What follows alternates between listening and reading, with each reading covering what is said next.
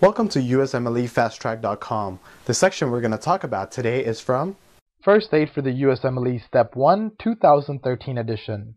Page 453. Anesthetics General Principles. What is a general rule for a CNS drug to cross the blood-brain barrier? A CNS drug must be lipid-soluble to cross the blood-brain barrier or be actively transported. What does a drug with low solubility in blood indicate? A drug that has low solubility in blood indicates that it has a rapid induction and rapid recovery time. What does a drug with high solubility in lipids indicate? A drug with high solubility in lipids indicates that it's highly potent, which equals 1 over the minimal alveolar concentration.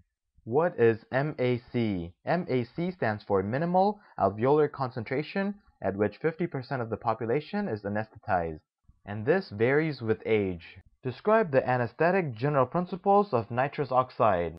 The anesthetic general principles of nitrous oxide is that it has low blood and lipid solubility, so this means that it has fast induction and recovery times but low potency. Describe the anesthetic general principle of halothane. The anesthetic general principle of halothane is that it has high lipid and blood solubility, so this means that it has high potency but slow induction. For more information on this topic, click on the link in the description section below. For a full USMLE Step 1 review, be sure to check us out at usmlefasttrack.com where we help you review the entire first aid for the USMLE Step 1 with high quality videos and hundreds of detailed pictures for a better understanding of the material.